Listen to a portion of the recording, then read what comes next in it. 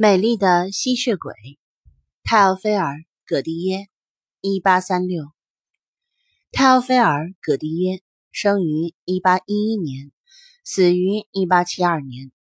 不仅是浪漫主义鼎盛时期和法国前期高岛派的杰出大师，还是霍夫曼在法国的主要继承人。在他的诸多怪诞故事中，《美丽的吸血鬼》是最著名也最完美的一篇。也许太过完美了。戈迪耶追求完美，可以说他遵循了所有的理论准则。他是活死人和吸血鬼题材的高级样本。此处是女吸血鬼，并获得了波德莱尔的赞誉。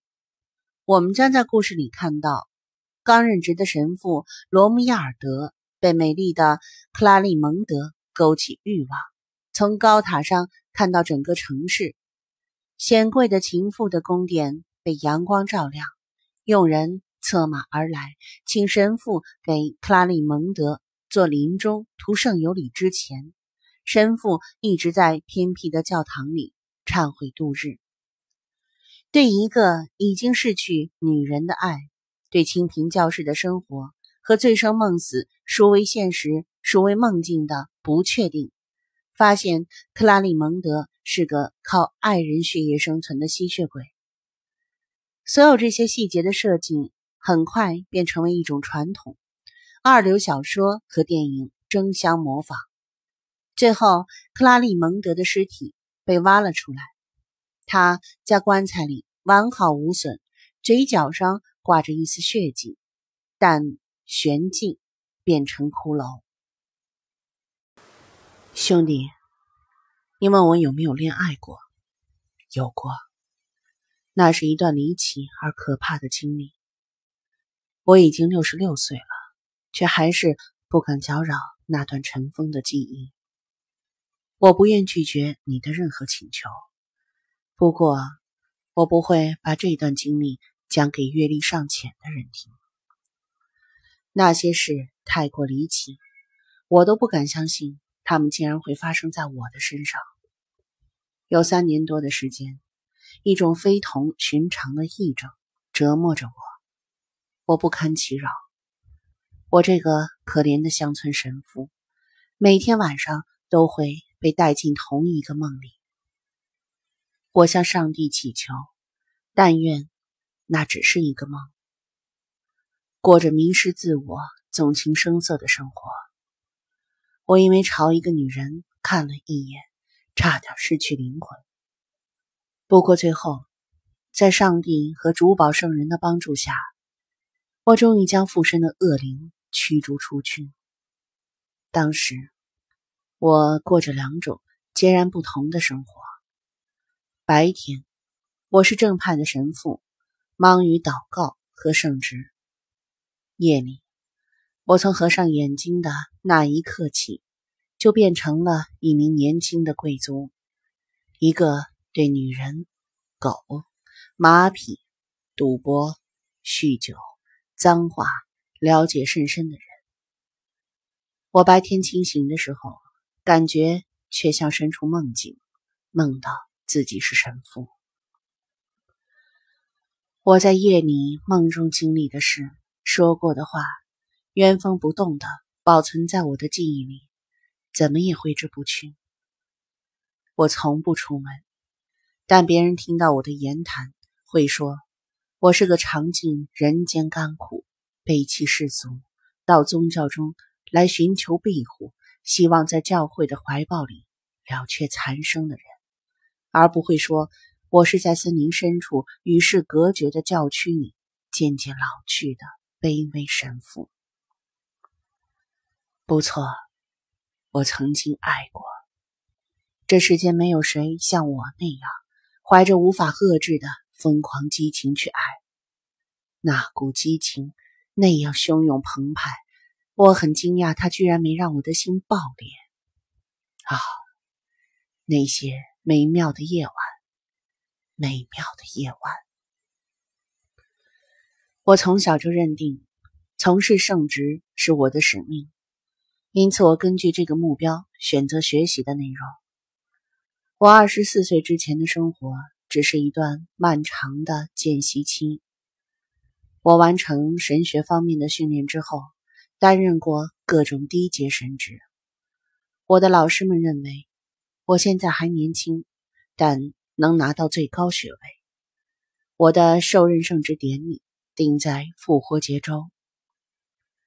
我从未步入社会，对我来说，世界的边界就是长老院和神学院的围墙。我隐约知道，有种叫做女人的存在，但并未多加留意。我单纯的就像一张白纸。每年，我只跟年老体弱的母亲见两面，这就是我跟外界唯一的联系。对于不可更改的誓言，我既不后悔，也没有丝毫的犹豫。我满怀喜悦，迫不及待。没有哪个年轻的新郎比我更急切的熬过那些终点。我兴奋的难以入眠。我梦到自己在布道。我觉得成为神父是最美妙的事。我为此宁肯放弃成为国王或诗人。成为神父，就是我最大的心愿。我告诉你这一点，是为了让你明白，我最不可能遇上那种事，最不可能被那种事迷得神魂颠倒。那个重要的日子来临了，我步履轻盈的朝教堂走去，仿佛肩上长了翅膀，可以御风而行。我觉得。自己就像天使一般，我为同伴们严肃和深思的表情感到惊讶。我们是好几个人结伴同行。头一天晚上，我是怀着近乎狂喜的心情在祈祷中度过的。我觉得主教大人，一位可敬的老者，似乎就是上帝的化身，正在凝望着永恒。我仿佛透过这座神圣建筑的拱顶，看到了天堂。你知道仪式的细节，祝福、圣餐，把新信徒的油膏涂在手掌上，最后跟主教大人一起献上圣祭。这些我就不赘述了。哦，约伯说，不仔细看清楚就订约的人是轻率的。他说的可真对。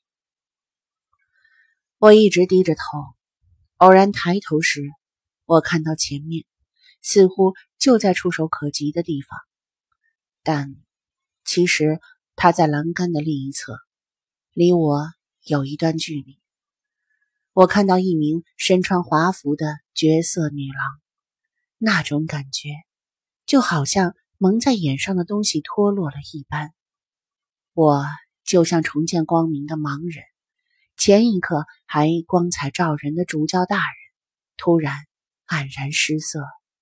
金色烛台上的蜡烛就像白天的星星一样，整座教堂都变暗了。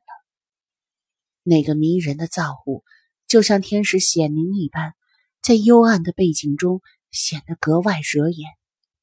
它仿佛在熠熠闪光，而不只是。承接光亮，我垂下眼帘，决心不再抬眼观看，这样就不会被外物所惑。我的神智越来越迷离恍惚，我几乎搞不清自己在做什么。我很快又睁开眼睛，透过睫毛看到了他，他身上闪耀着红彩。他沉浸在玫瑰色的目光里，就像在欣赏夕阳。哦，她可真美！那些从天堂寻找理想化的美，将圣母的肖像带到凡间的伟大画家，也不曾触及这份绝妙的真实。不论是诗人的歌谣，还是画家的调色板，都无法将这种美描绘出来。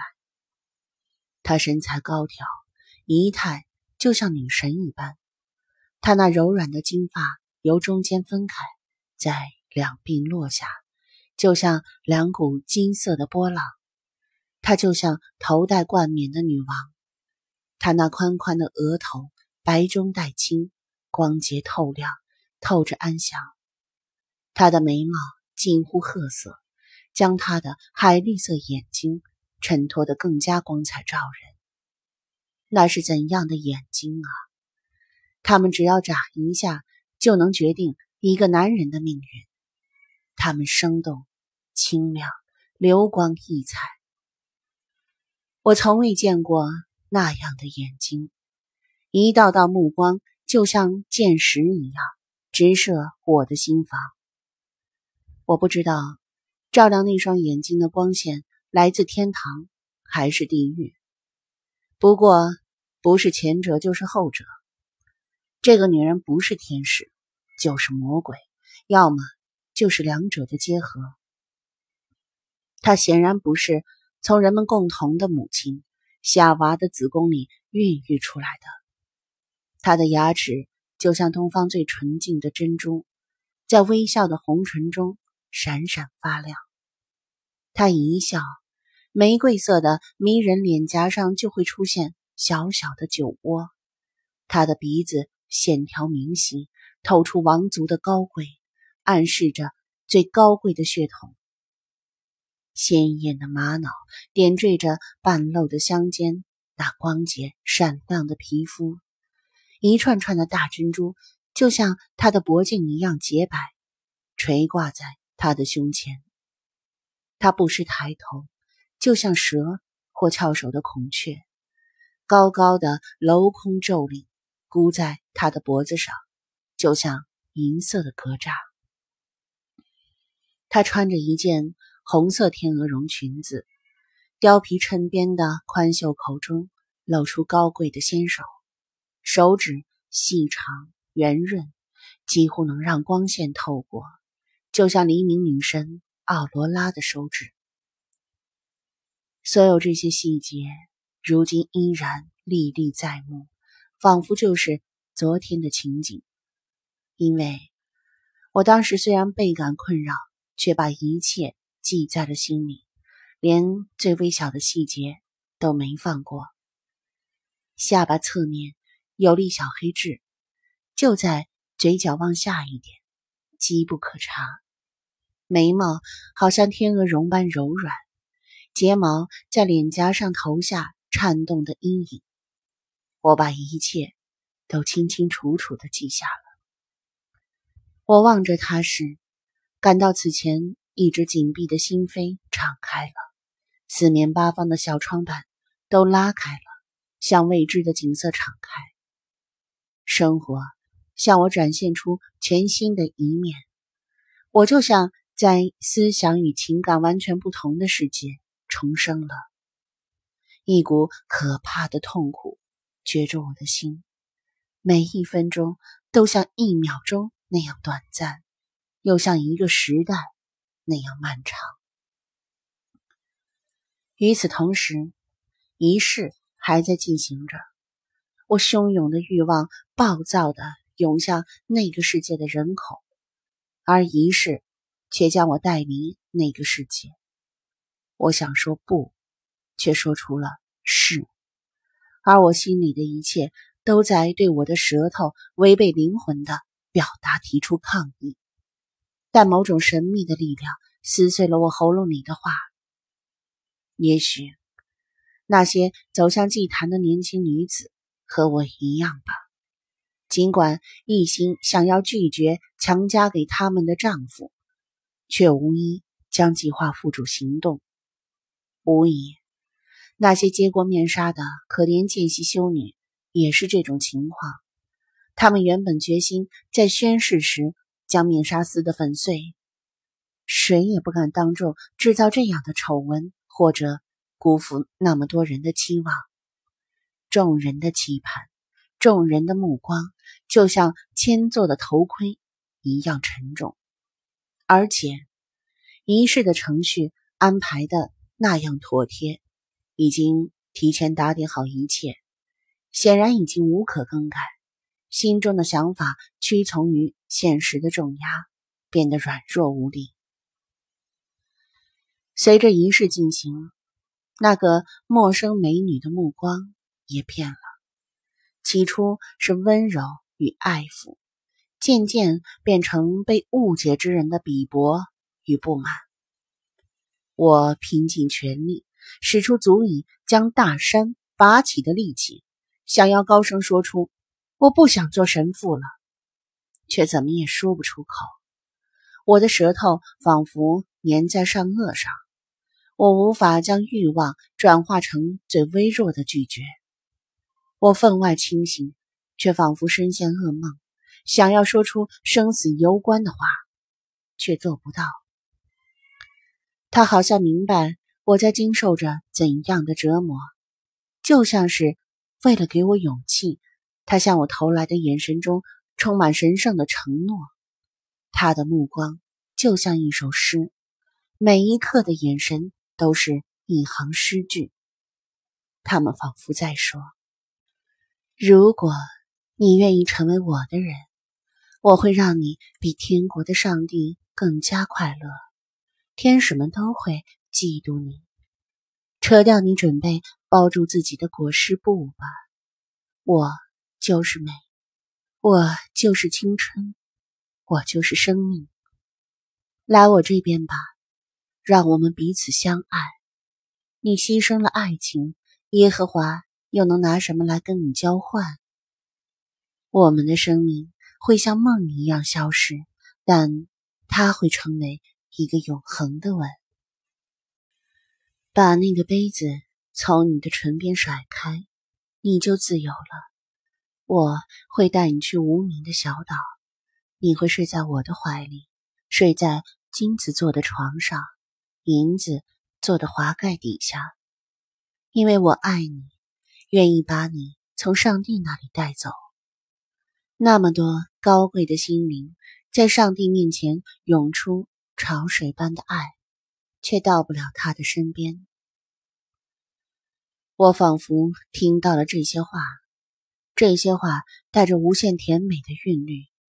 他的眼神仿佛能发出声音，传达出的话在我的内心深处回响，仿佛有看不见的嘴唇把那些话吹进我的灵魂。我感到自己做好了启绝上帝的准备，但我的嘴唇机械地诵读着仪式上的套话。那个美女又看了我一眼，目光那样恳切、绝望。我感到心如刀绞，胸口就像中了无数支箭，那份痛苦不亚于圣母的悲哀。仪式结束了，我成了一名神父。人的表情从未反映出那样强烈的痛苦。看到意中人在身旁突然死去的姑娘，看到孩子的摇篮突然变空的母亲，坐在伊甸园门口的夏娃。发现自己的金银财宝被调包成石头的守财奴，将自己最佳作品的唯一手稿失手落入火中的诗人，这些人的表情也不会比那副表情更加悲伤难过。他那迷人的脸颊血色尽失，变得像大理石一样苍白。他那美丽的手臂耷拉在体侧，仿佛肌肉。完全失去了力量，他倚在柱子上，仿佛双腿无力，支持不住身体。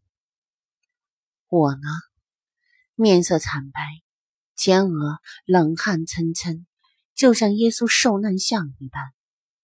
我步履蹒跚地朝着教堂的门口走去，感到窒息。教堂的拱顶似乎塌落在我的肩上，全靠。我的头颅支撑着，我正要跨过门槛，突然，一只手抓住我，是女人的手。那时，我从未碰过女人的手，它就像蛇皮一样冰凉，那份触感保留至今，就像滚烫的烙铁在我的身上打下了烙印。是他，不幸的人呐！不幸的人呐，你做了什么？他小声对我说，然后消失在人群之中。老主教从我身边走过，用严厉的目光望着我。我方才的表现肯定非常奇怪，我的脸一阵红一阵白，视野变得模糊不清。一名同伴可怜我，带着我离开了。我要是自己走，很可能连回神学院的路都找不到。在一个街角，我转过头去，看见一名衣冠楚楚的黑人侍从走过来。侍从递给我一本四角镀金的袖珍小册子，示意我把它藏好，就立即走开了。我把它。塞进袖子里，独自回到房间。我打开小册子上的扣环，里面只有两页纸，上面写着字：“克拉利蒙德，孔西尼宫。”那时我不谙世事，从未听说过克拉利蒙德，尽管他很有名，我也不知道孔西尼宫在哪儿。我做了上千种推测，一个比一个离谱。不过老实说，只要我还能再见到他就行。至于她是贵妇人还是交际花，我并不在意。这份初生的爱情已经永远扎下了根，我压根儿没动过斩断情丝的念头。我强烈的感到，那根本就是不可能的。这个女人已经完全占据了我的心，她的一个眼神就足以改变我这个人。她把她的意愿通过呼吸传达给了我，我的生命从此不再是我的了，而是他的。我要靠他传达的气息来维持呼吸。我不停亲吻着我手上他触碰过的地方，一连几小时。重复他的名字，我闭上眼睛，却能看到他清晰的出现在眼前。我还不停的重复着他在教堂门口说的话：“不幸的人呐，不幸的人呐，你做了什么？”我清楚的意识到自己的处境是何等可怕，自己步入了怎样阴郁和恶劣的境地。身为神父，就要禁欲，不能恋爱，要对性别和年龄的差别视而不见，要回避各种各样的美，龟缩在修道院或教堂冰冷的阴影里，看到的只有将死之人，在素不相识的死者身旁守夜，穿着黑色的长袍，就像给自己戴孝。最后，神父袍会变成。自己的关照，我心潮澎湃，血液在动脉里有力的悸动着。我那压抑已久的青春猛然爆发出来，就像一百年才能开花的龙舌兰，伴着一声惊雷，忽然开出了花朵。我要怎么做才能再一次见到克拉里蒙德？我没有离开神学院的借口，我。不认识城里的任何人，我甚至无法在学院里长期停留。我只是在等待教会将我负责的教区分派给我而已。我试着弄松窗上的栏杆，但外面高的吓人，没有梯子，别想下去。再说，我也只能趁夜里溜出去。我要怎样才能从迷宫般错综复杂的街道里找到路？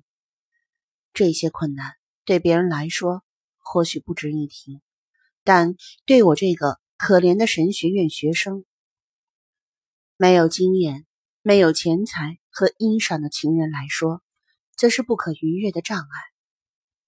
我如果不是神父，就每天都能见到他了。我会成为他的爱人，他的丈夫。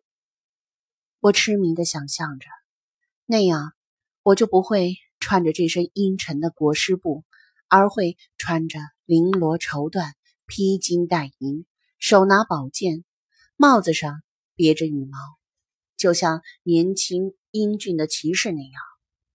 我也不会再留光头，而会蓄起长及脖颈、波浪一般的卷发。我会蓄起上蜡的小胡子，成为一个时髦的青年。但在祭坛前面度过的一个小时，少许含糊不清的话语，让我斩断了尘缘。我亲手用木石封住了我的墓穴，亲手拉上了监狱的门栓。我来到窗边，天空是一片美丽的湛蓝，树木披上春装，大自然似乎在举行一场讽刺的盛大游行。广场上人山人海，来来往往，少年和少女们成双成对的。走向花园和凉亭，快活的朋友们挽着胳膊，唱着祝酒的歌谣。那幅熙熙攘攘的景象充满活力，跟我的悲哀与孤独形成可悲的对照。门前台阶上，有一位年轻的母亲在跟她的孩子戏耍，亲吻着那张沾着牛奶的红润小嘴。用只有母亲才能发明出来的一千种稚气的把戏逗弄着他。那个做父亲的站在不远处，叉着胳膊，面带笑容，望着迷人的母子二人，心中满是幸福。这一幕让我感到无法忍受。我关上窗户，扑倒在床上，心里充满愤恨和可怕的嫉妒。像饿了三天的老虎那样啃咬着手指和毯子。我不知道这种状态持续了多久，不过我猛地一转头，发现塞拉皮翁院长正站在房间中央，专注地望着我。我羞难不已，垂下头，双手掩面。罗米尔德，我的朋友，你心里正发生着。不寻常的事情。沉默片刻之后，塞拉皮翁说：“你方才的行为真是莫名其妙。你一向那么虔诚、镇定、优雅，可你方才却像野兽一样在房间里发怒。要当心，我的兄弟，不要听信魔鬼的教唆。正因为你将自己永远献给了上帝，所以。”才激怒了恶灵，他像饿狼一样在你周围徘徊不去，做着最后的努力，想把你拉拢过去。不要萎靡不振，亲爱的罗米尔德，用祈祷做铠甲，用禁欲做盾牌，跟敌人勇敢的战斗吧，你会战胜他的。美德必须经受考验。经过辉明提炼的金子，才会比以前更精纯。不要害怕，也不要气馁。那些最警惕、最坚定的人，也经历过这样的时刻。祈祷、斋戒、冥想，恶灵就会离你而去。塞拉皮翁院长的话让我恢复清醒，渐渐平静下来。我过来，他又说：“是要通知你，你被指派到 C 教区了。那边的神父刚刚过世，主教大人命我让你前去赴任，做好准备，明天就要动身了。”我点了点头，表明我会做好准备。院长离开了，我打开祈祷书，开始朗读祈祷文。但一行行文字很快就乱作一团，我心里的种种思绪纠缠难解，祈祷书从我手里掉了下去，我都没有发觉。我明天就要走了，再也见不到他了。我们之间原本就有重重阻隔，现在又多了一重障碍，再也没有见到他的希望，除非。发生奇迹，我应该给他写信吗？我让谁去送信呢？我被授予了神圣的角色，我又能向谁吐露心声，说出秘密呢？怀疑和恐惧令我心烦意乱。这时，我又想起塞拉皮翁院长说过魔鬼的花招如何如何。这番异乎寻常的经历，克拉里蒙德那不属于尘世的美貌，他那闪耀着灵光的眼睛。他的手留下的灼痕，他给我带来的种种困扰，我心里突然发生了变化。我转眼便放弃了虔诚的志向。所有这些都清清楚楚的表明魔鬼的存在。那只柔软的手里，或许隐藏着魔爪。这些想法令我大为恐惧。我拾起从膝头掉落的祈祷书，再度祈祷。第二天，塞拉平翁过来接我，两头骡子驮着我们的少许行李在门口等着。他和我各自骑上一头。我们穿过城里的街道时，我观察着每一扇窗户，每一个阳台，希望看到克拉里蒙德。不过这时时间还早，城里的人尚未醒来。我的眼睛恨不得赶在我们走过之前，看透每一座宅地的窗板和窗帘。无疑，塞拉皮翁把我这种好奇的表现当成我对建筑之美的欣赏，因为他让坐骑放慢脚步，好让我从容观赏。我们终于。来到城门外，开始翻山越岭。来到山顶时，我转过身，最后一次朝克拉里蒙德生活的地方望去。只见一团乌云的阴影笼罩着全城，蓝色和红色的屋顶掺杂在一起，融合成一种混合的色调。早晨的烟从那些屋顶冒出来。好似一股股泡沫，借着一种奇特的光学效应，有一栋宏伟的建筑，在一束阳光的照耀下发出闪闪金光。四周的房舍都隐藏在薄雾之中，它比他们都要高。它距离这边好几里路，但看起来离得不远，就连最微小的细节。也可以分辨得清清楚楚。塔楼、屋顶、窗户，还有燕尾状的风向标。那边被阳光照亮的宫殿是什么地方？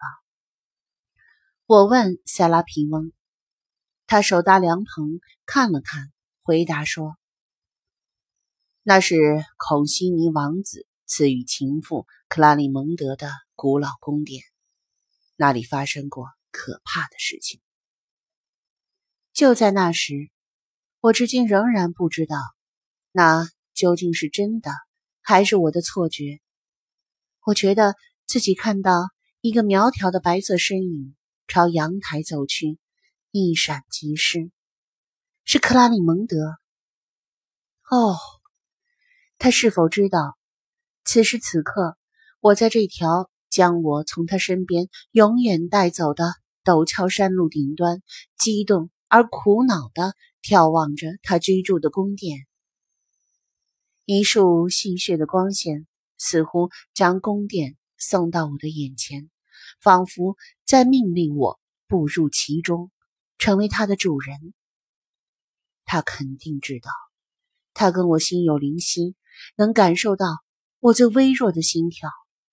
正是这份体察，让依然身着睡袍的他登上晨露闪亮的阳台。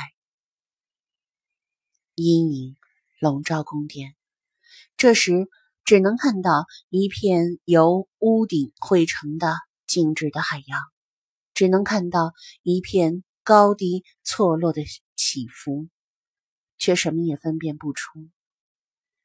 塞拉皮翁催赶着骡子上路。我的骡子也走起来，转了一个弯。我再也看不到，S 城了，因为我再也不会回来了。我们在乏味的乡间赶了三天路之后，看到树后面露出教堂上的风向标，那就是我要任职的教堂。我们穿过几条两边是农田的弯弯曲曲的小路，来到这座并不宏伟的教堂跟前。门廊上装饰着几道凹槽饰纹，还有两三根雕工粗糙的砂银圆柱。屋顶扇了瓦，拱壁也是砂岩砌成的。左边是教堂的墓地，杂草丛生。中间有一个大大的铁十字架，右边是神父住宅，笼罩在教堂的阴影里。那间住所十分简陋，但一尘不染。我们走进神父住宅，一些家庭正在啄食着地上寥寥无几的燕麦粒。他们显然已经看惯了神父的黑袍，完全没有因为我们的到来。而惊慌，甚至懒得让开路，让我们过去。我们听到一声沙哑的犬吠，一只老狗朝我们跑来。是我的前任养的狗，它两眼昏花，脖颈泛灰，种种迹象表明，它已经老得不能再老。我轻轻地摸了摸它。他马上便带着难以言喻的满足跟在我的身旁。一名老妇出来迎接我们，他是老神父的管家。他领我们看完一个低矮的房间之后，问我是否打算留用他。我说我会留用他。那只狗，那些家禽，它的主人去世时留下的全部家具。我都会留下，这让他大为欣喜。塞拉皮翁院长按照他说的价格，把钱当场付给了他。我就任之后，塞拉皮翁院长便回神学院了，我孤零零的留下来，凡事都只能依靠自己。对于克拉利蒙德的思念又开始困扰着我，我努力克服这种思念。却总是徒劳。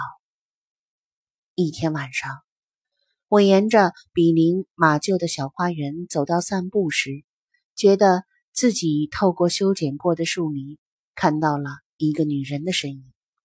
她在追随着我的脚步，她那两只海绿色的眼睛隔着叶丛闪闪发亮。可那只是我的错觉，因为我走到小路尽头之后。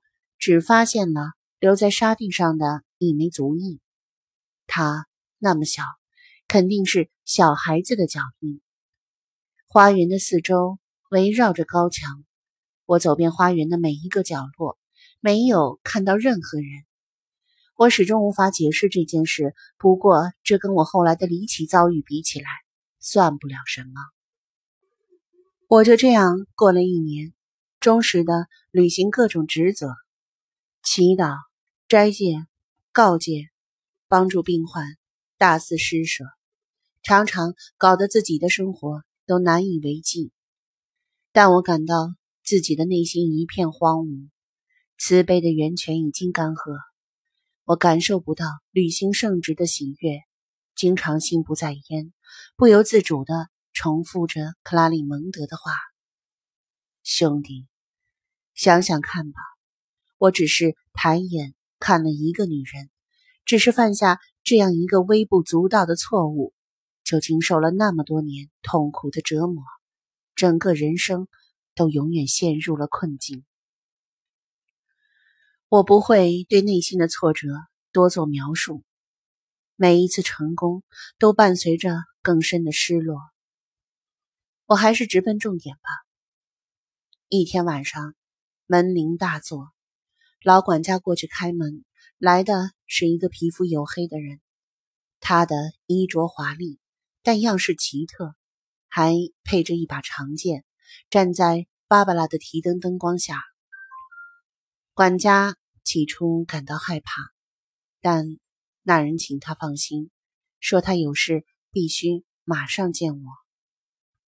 芭芭拉领他上楼见我，我当时正要就寝，那人告诉我说，他家的女主人，一位贵妇人，正处于弥留之际，想见神父。我回答说，我愿意陪他过去。我带上行临终途游里必不可少的东西，就赶紧下了楼。门前有两匹马，它们漆黑如夜，胸前的鬃毛上挂着两滩汗水，正用蹄子不耐烦地刨着地面。那人替我牵马坠蹬，扶我上马，接着扶住前鞍桥，跳到另一匹马身上。他用两膝一夹马腹，松开缰绳，马儿便像箭一样飞奔出去。我那匹马也由他牵着缰绳疾驰起来，跟另一匹齐头并进。我们纵马飞奔，灰色的地面从我们下方急掠而过，树木乌黑的轮廓就像溃败的军队般匆匆向后退去。我们穿过一片令我毛骨悚然的幽暗森林，马蹄踏在石头上，激起阵阵火花，在我们身后留下串串火光。要是有人在这个时辰看到我和我的向导，准会把我们当成从噩梦中冲出来的幽灵骑士。鬼火不时出现在我们的路上。寒鸦在森林深处发出阵阵悲啼，时常可以看到野猫那闪着灵光的眼睛。我们胯下的马鬃毛上蒸腾出越来越浓重的热气，身侧大汗淋漓，鼻孔吃力的喷气。不过，那名马夫看到他们放慢速度，便会发出一声粗嘎的叫喊，听起来。不像是人发出的，他用那样的叫喊给他们鼓劲儿，他们又狂奔起来。马儿的速度终于慢下来，前方的黑暗中突然闪现出点点灯火，马蹄踏在铺了铁的蹄道上，发出更尖利的声响。一段拱廊在两座巨大的塔楼中间。张开黑洞洞的嘴巴，我们从中穿行而过。城堡里的人紧张的忙碌着，擎着火把的仆人们从院子里往四面八方散去。一盏盏提灯在一处处楼梯平台上晃动着。我有些迷惑的看到一座巨大的建筑，圆柱、拱廊、楼梯。真是一个既豪华又怪诞的建筑奇观。一名黑人侍从过来帮我下马，我马上认出，当初就是他把克拉里蒙德的袖珍本子交给我。一名身穿黑色天鹅绒衣裳、戴着金项链、手拿象牙手杖的男管家上前迎接，泪水从他的脸颊滚滚。流到花白的胡子上，太迟了。他摇着头说：“太迟了，神父先生。不过，就算您不能拯救这个灵魂，也来看看这副可怜的尸骨吧。”他挽起我的胳膊，领我到停尸的房间。我哭得跟他一样难过，因为这时我已经知道。死者正是我疯狂爱恋的克拉里蒙德。一把祈祷椅摆放在床边，一只青铜杯子上闪烁着一团幽蓝的火焰，给屋里洒满摇曳的微光，时而照亮家具或墙上的装饰线条那突出的棱角。桌子上的镂雕银花瓶里插着一只。枯萎的白玫瑰，茎杆上只剩一枚花瓣，其余的都散落在花瓶底下，就像一颗颗芬芳的泪珠。